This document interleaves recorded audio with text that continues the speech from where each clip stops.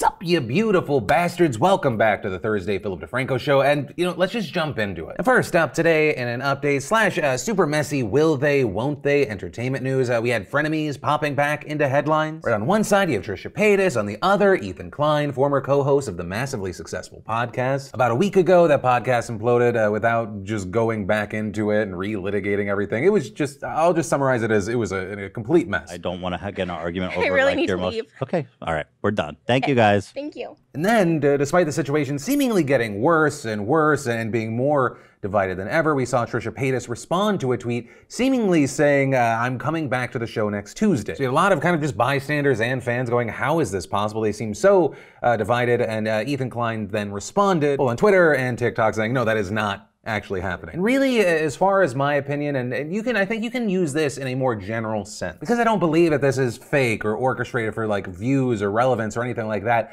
I don't know how you can justify that podcast ever coming back together. Like when you try to do something and it repeatedly results in a toxic outcome, and then you try it again and you toxic outcome. At at what at what amount of money or views or relevance do you go, yeah, it's worth it? And if I'm in Ethan Klein's shoes, right, the, the other podcasts still do relatively well. You got Teddy Fresh making bank.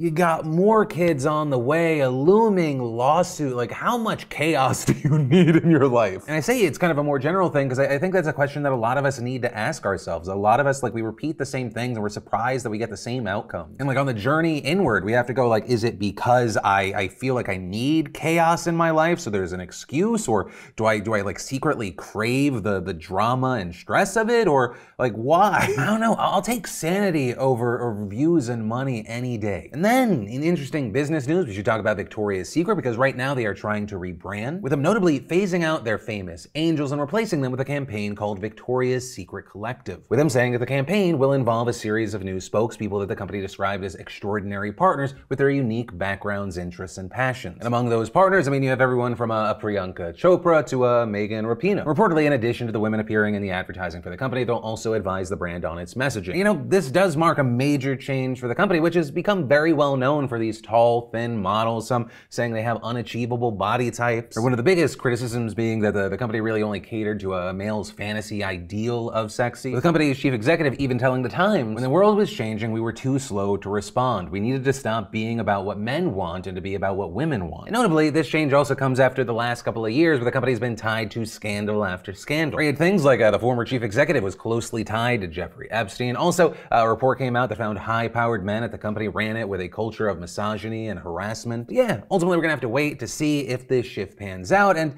I mean, it's been interesting to see public reaction. It is kind of what I would expect. Some seemingly happy that the, the goal here seems to be uh, more women forward, to be more inclusive. But at the same time, you have people saying this seems like a company that's just going woke. And so actually, I mean, since that debate is happening, I do want to pass the question off to you. What are your feelings when you hear about this story? Then, in, in kind of a related story because it relates to female bodies and media, we had Scarlett Johansson in the news. She's been doing press promoting the upcoming Black Widow film, and in an interview this week with Collider, she reflected how on she and the character have changed over the years. And specifically criticizing how her character Natasha was hypersexualized in Iron Man 2. Saying, I mean, you look back at Iron Man 2, and while it was really fun and had a lot of great moments in it, the character is so sexualized, you know? Really talked about like she's a piece of something, like a possession or a thing or whatever, like a piece of ass, really. Also, adding that at one point, Tony Stark says, I want some about her character. And noting that while at the time she may have, you know, somehow processed that as a compliment, her understanding and a lot of women's understanding of self worth has changed. Saying now people, young girls, are getting a much more positive message. But it's been incredible to be a part of that shift and be able to come out the other side and be a part of that old story, but also progress, evolve. I think it's pretty cool. Regarding the Black Widow movie, it's coming out in just a few weeks, and early responses so far are rather good, so it's gonna be exciting to see how that goes. But from that, I wanna take a quick second to thank the sponsor of today's show, Raycon. Co founded by audio engineers and some of the music industry's elite, Raycon is disrupting the electronics industry by designing premium wireless audio for half the price without compromise while prioritizing their customer experience from start to finish. And Raycon wireless earbuds are the best way to bring your favorite content with you wherever you go. I personally use mine, uh, whether I'm just, you know, walking around, listening to podcasts, uh,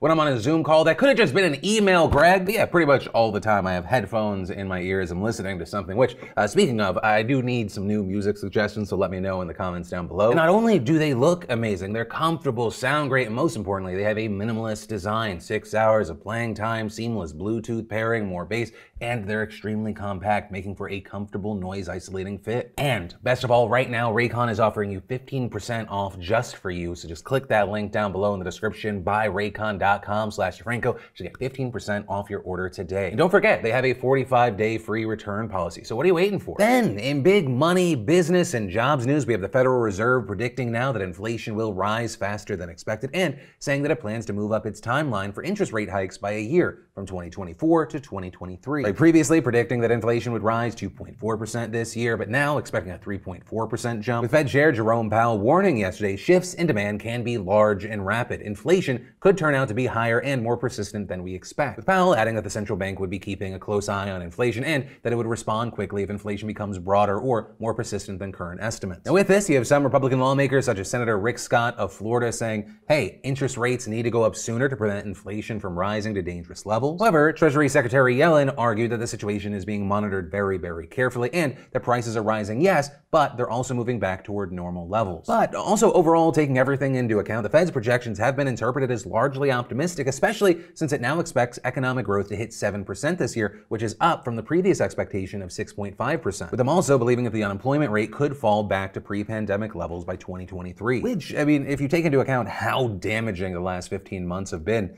that's still really fast. But uh, ultimately, we have to wait and see, right? It's the key word here predictions, educated guesses. then you have the Education Department announcing yesterday that they have canceled about $500 million worth of federal student loans for roughly 18,000 students who were defrauded by the now defunct ITT Technical Institute. Right? And for some context here, ITT Tech was shut down back in 2016 after it was found to have misled students about employment prospects and whether credits would transfer to other schools. And while this left uh, a lot of people in a bad place, the, the loans of the selected students will be 100% forgiven under a borrower defense program, which provides loan forgiveness to students who can prove that they were defrauded by their colleges. Right? Notably, this comes as part of a broader effort by the Education Department under Biden to chip away at the massive backlog of claims in the borrower defense program that piled up during the Trump administration, which refused to provide loan forgiveness to defrauded students during the first few years in office and then began granting partial relief under a controversial policy in 2019. So with this, back in March, the Education Department rolled back that policy and cleared $1 billion in federal student debt for 72 2,000 borrowers from for profit colleges who were granted partial cancellations under Trump, but instead provided them with full discharges. But still, even there, according to reports, there are tens of thousands of people waiting for a decision on their claims. So that's why with this, we saw many people applauding the decision, but also arguing that more needs to be done. Like the vice president of the legal group Student Defense telling reporters, it appears the Biden administration genuinely wants to help people who are owed discharges. But that makes it all the more confounding that they are so hesitant to use their authority to immediately and automatically help the countless additional borrowers who are still waiting. Then we had the Supreme Court in the news in part because this morning they struck down the third Republican led challenge to the Affordable Care Act, aka Obamacare, to reach the High Court. The main issue at hand being the provision of the law that requires people to either purchase health insurance or pay a tax penalty, often known as the individual mandate. It's easily one of the most controversial parts of Obamacare. It's been before the Supreme Court before, which upheld a provision back in 2012 on the grounds that it amounted to a tax and thus